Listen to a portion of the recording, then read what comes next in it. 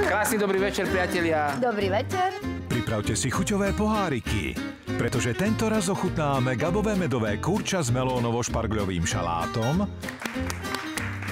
Pozor, nech si ústa od teba neutriem. ražný koláč s makom aj letným ovocím od Anky Šiškovej, No nie je dobrý. To je, že haj se líbe. ale aj chutné sedmohradské koláče s čerešňami podľa našej hostky Michaely Smolovej. Dobrú chuť. Tajomstvo mojej kuchyne v premiére v nedeľu 18.15 na jednotke. A tešíme sa na vás s Ankou Šiškovou. A s Gabou Kocákom.